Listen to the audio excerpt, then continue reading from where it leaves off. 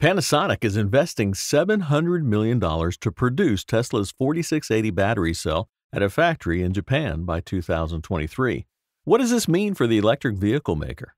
Well, there have always been rumors about Tesla improving the battery situation, and it looks like it's actually happening. Tesla is preparing to start production of its first vehicle using its 4680 battery cell, a new tabless battery cell in a bigger format with new chemistry unveiled in 2020. Wow, this is actually very intriguing. Now let's find out what this means for Tesla EV production. For the first time, the automaker plans to produce its own cells to support its electric vehicle production. However, Tesla is going to need so many cells that it's also partnering with current battery suppliers to deploy their own production of the new 4680 cell. Panasonic, which is Tesla's oldest battery partner, has tentatively announced that it would be deploying a prototype production line for the new battery cell. Later, Panasonic's new CEO, Yuki Kusumi, said that it's prepared to make a large investment in producing Tesla's new battery cell if test production proves successful. In October 2021, the Japanese manufacturer unveiled its own 4680 cell developed with Tesla.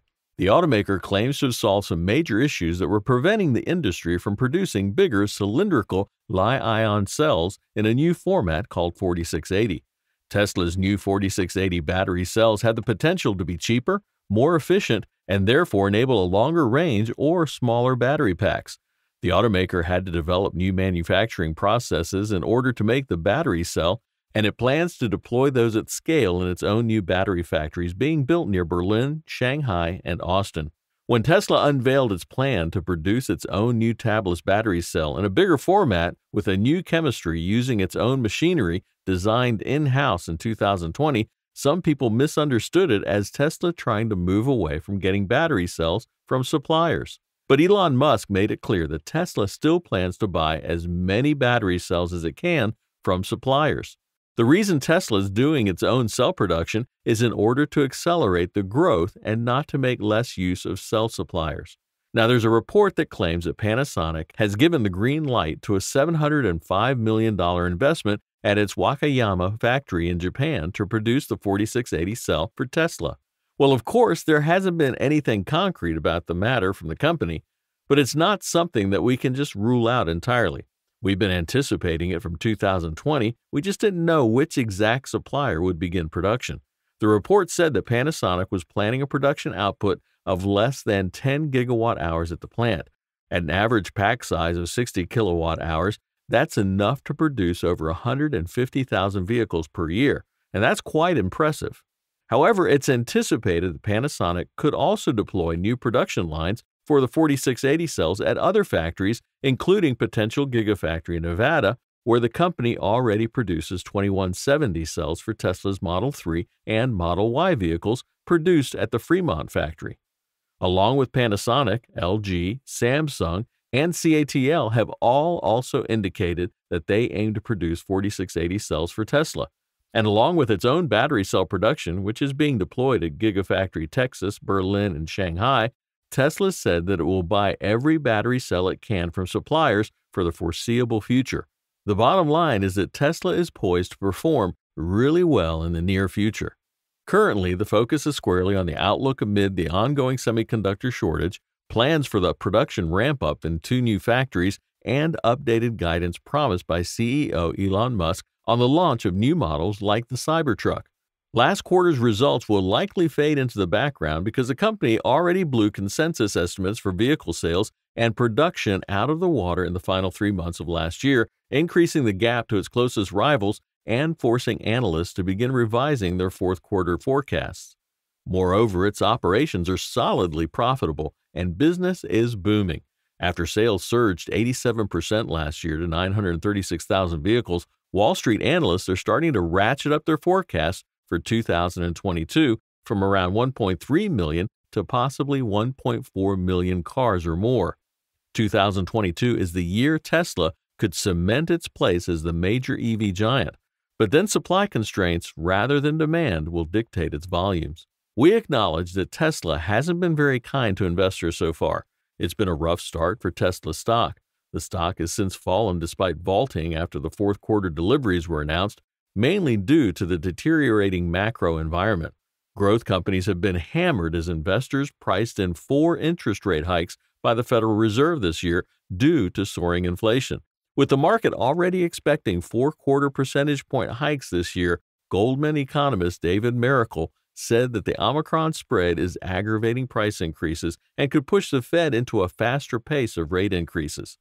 Markets expect no action regarding interest rates following the gathering, but do figure the Federal Open Market Committee will tee up a hike coming in March. If that happens, it will be the first increase in the central bank's benchmark rate since December of 2018. Raising interest rates would be a way to head off spiking inflation, which is running at its highest 12 month pace in nearly 40 years. While the economic complications from the COVID spread have aggravated imbalances between booming demand and constrained supplies. And also, the wage growth is continuing to run at high levels, particularly at lower paying jobs, even though enhanced unemployment benefits have expired and the labor market should have loosened up. In addition to hiking rates, the Fed also is winding down its monthly bond buying program, with March as the current date to end an effort that has more than doubled the central bank balance sheet to just shy of $9 trillion. While some market participants have speculated that the Fed could shut down the program at next week's meeting, Goldman does not expect that to happen. The Fed could, however, provide more indication about when it will start unwinding its bond holdings. So, in the meantime, there's nothing to worry about for Tesla investors. As a matter of fact, investors should maintain the focus on the fourth quarter earnings call and the Tesla 2022 production plans. With the 4680 cell batteries now a surety, things should fall back in place comfortably for Tesla. Speculation has even emerged recently that Tesla could be already working on a smaller version of the Cybertruck for markets outside North America. Another key model underpinning Tesla's growth story is what some are calling the Model 2, an affordable compact hatchback. Investors could get an updated timetable for the launch of a model first announced back at the company's Battery Day presentation in September 2020. While there's so much more to look forward to from the electric vehicle maker, products are not the only focal point.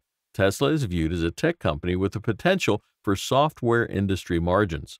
That's why the roadmap for its full self driving beta software is key to Tesla's oversized valuation. It has recently traded at the same market cap as its nine largest competitors combined. And version 11 of FSD is expected to arrive soon. This new updated FSD version will unify all functions into one full stack of programming code. In theory, this should accelerate further development and bring forward the date when Tesla drivers can move from what's now hands off to eyes off automated driving. Tesla's technology remains unmatched.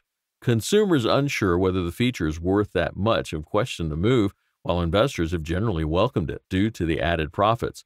As long as Tesla keeps posting some great results, investors won't be worried about a thing. Tesla has weathered the global supply chain crisis better than any other automaker, producing a record number of vehicles. Tesla's revenue is also expected to keep rising. What could possibly hold back the EV giant from bouncing up? Supply chain issues are being handled well, and production is also set to increase. Tesla will just keep getting better. We hope you enjoyed the session today. Many thanks for tuning in. Remember to like, share, and subscribe. Stay safe, and we'll see you next time.